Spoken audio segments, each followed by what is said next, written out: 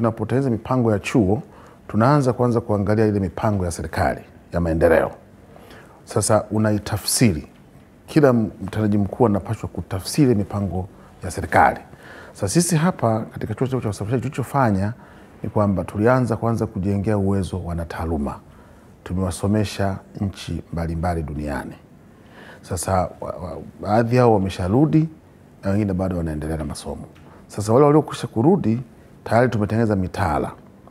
Kwa hiyo kwenye upande wa eh, management ya mashirika ya reli tunayo shahada ya kwanza eh, bachelor degree in road and railway transport management eh, lakini vivyo tunayo postgraduate diploma ya railway transport management.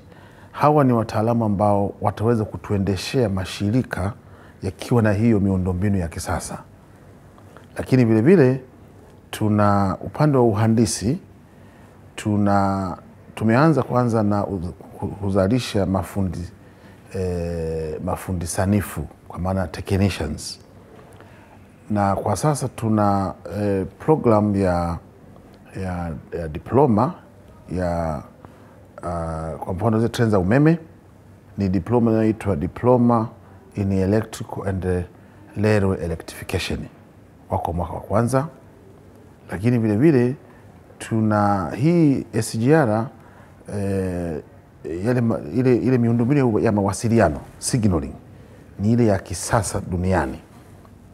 E, kwa hiyo sasa hapa tuna diploma pia ya, ya telecommunication and signaling engineering, lakini vilevile e, tuna wataalamu sasa wa e, rolling stock kwa maana ya mabehewa ya umeme ambayo ni mechanical engineering and uh, railway vehicle technology.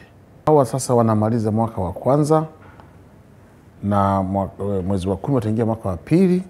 Kwa hiyo elfu mbili na ishirini na nne tayari watakuwa wako sokoni kuweza kusaidia taifa.